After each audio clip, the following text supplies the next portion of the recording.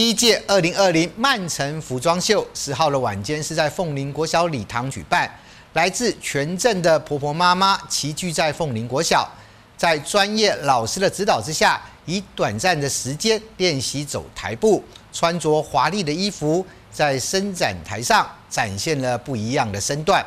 顿时间让台下的观众和家眷们看的是如痴如醉。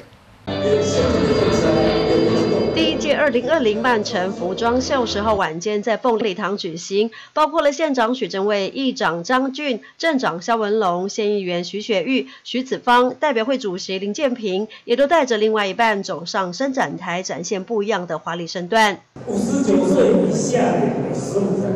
六十岁以上的有十五人，总总共呢啊有三十位佳丽。等一下呢。这些人呢，可能大家都认识，但经过化妆以及服装以后呢，可能大家会认不出来哈。因为我们化妆师正在跟他们化妆哈，让这样呢，大家耳目一新，啊，让大家快乐一下。我晚上看到那么多人相亲来参加，大家都诶欢喜欢天喜地啊，相当的高兴。那我在这里呢，感谢大家晚上的参与。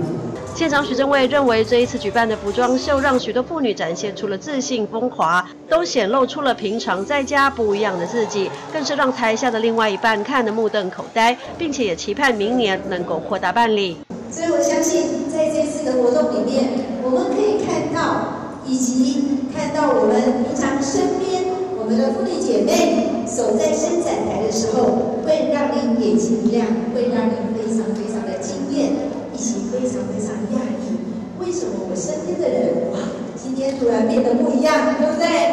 啊，所以我们是不是给我们小文龙镇长的巧思，还有创意以及创举，给他掌声一下，好不好？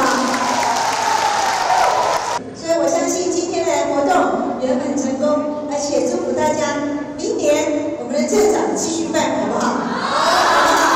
好，我们让它整个扩大，然后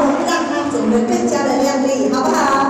八十岁的阿嬷第一次走在伸展舞台上，展现出相当自信的台步。而这一场别开生面的服装秀，是镇长在每年所举办的夏日节活动，因为遇到疫情无法举办，进而转为服装秀的方式所举办的活动，让每一位婆婆妈妈都有机会在舞台上展现出自己与平常生活中不一样的自信与舞蹈。记者林杰凤林镇采访报道。